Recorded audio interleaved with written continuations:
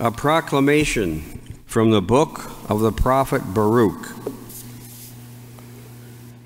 Take off the garment of your sorrow and affliction, O Jerusalem, and put on forever the beauty of the glory of God.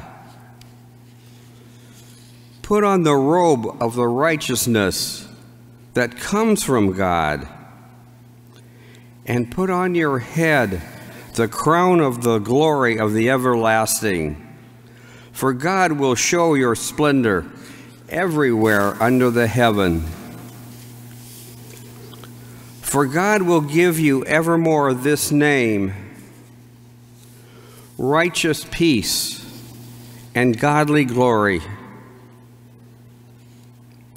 Arise, O Jerusalem, stand upon the height.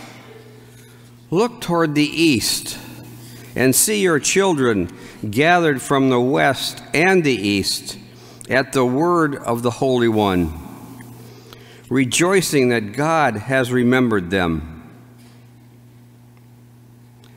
For they went out from you on foot, led away by their enemies.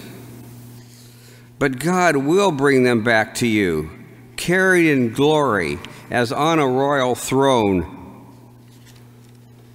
For God has ordered that every high mountain and the everlasting hills be made low, and the valleys filled up to make level ground,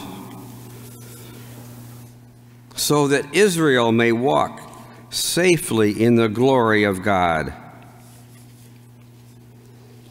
The woods and every fragrant tree have shaded Israel at God's command. For God will lead Israel with joy in the light of his glory, with the mercy and justice that comes from him.